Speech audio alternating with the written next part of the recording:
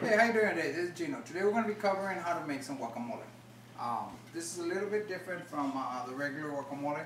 Uh, I was down in Cabo San Lucas not too long ago with the family, and down where Baja California ends, there's a little restaurant that serves some of the most amazing fish tacos, and the uh, avocado on it was almost a runny type of guacamole. So what I did is I chopped up some avocados here. I'm going to go ahead and put a little bit of water with them, which I have already done. I'm going to go ahead and mix some salt. Too much.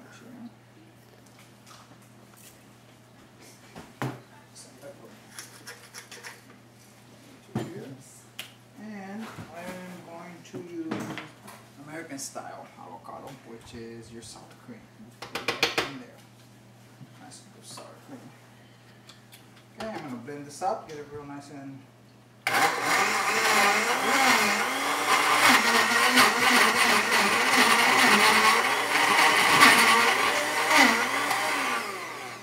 and like any sauce, if you want to water it down a little bit more, all you have to do is add just a little bit more water.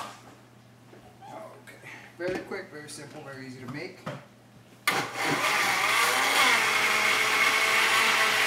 And you'll see the consistency of it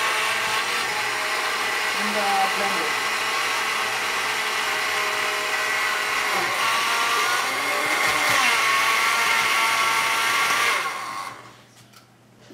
Okay. Now you're going to be able to see the consistency of it. See that? Very smooth. But what we're going to do different on this is we're going to add some salsa that I had made previously. I'm put it right in here, into here. Actually, I'm not even going to uh, blend it because I don't want to tear up all the beautiful tomatoes and onion and everything. Put it right back into the can here.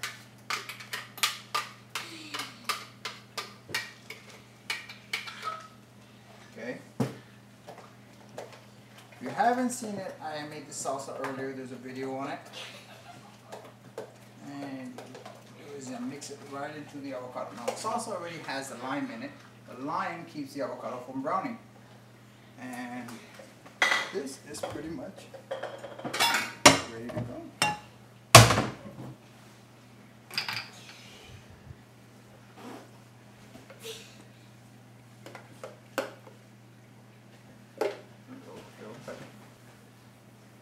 This is basically it.